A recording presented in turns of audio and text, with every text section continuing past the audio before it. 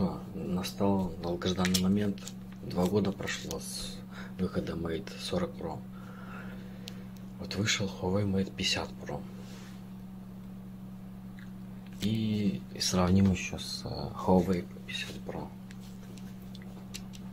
Кто как фоткает. Все-таки столько времени прошло.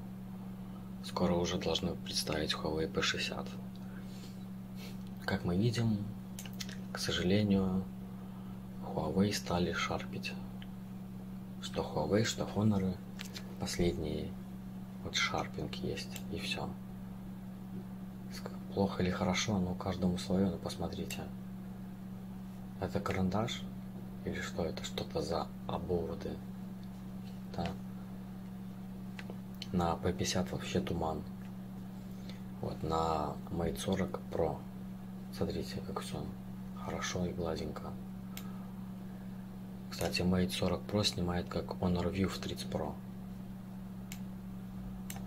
по обработке. Ну вот, опять же, если по 50 и Mate 40 сделали такую, скажем, хорошую картинку, то Mate прям настолько дикий шарпинг сделал, что слов нету просто. Вот что это за дичь? Что-то за вот надписи какие-то, как будто бы это, я не знаю, подплавленная пластмасса какая-то.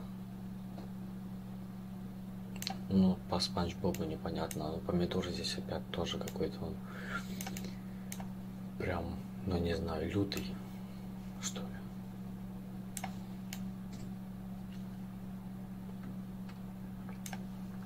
Вот здесь что? С обработкой, что-то за лесенки кусками.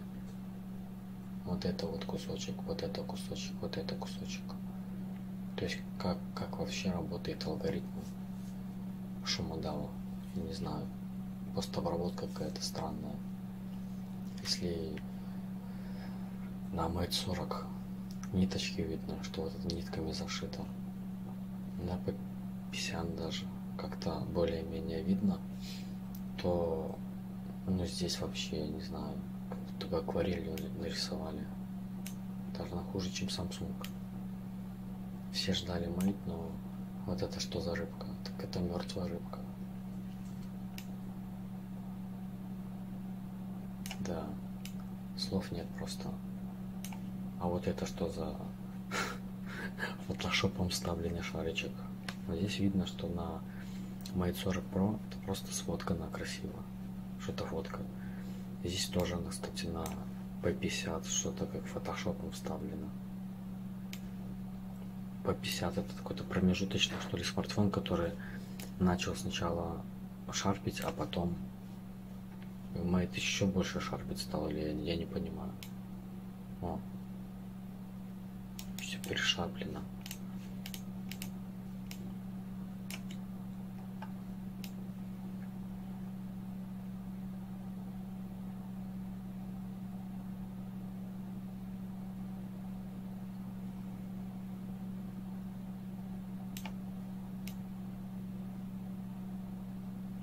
Я думаю, тут даже ничего объяснять не надо. Все понятно. Все ждали. Единственное, что Porsche Edition макро делает стиль века. Как на практике нужно смотреть.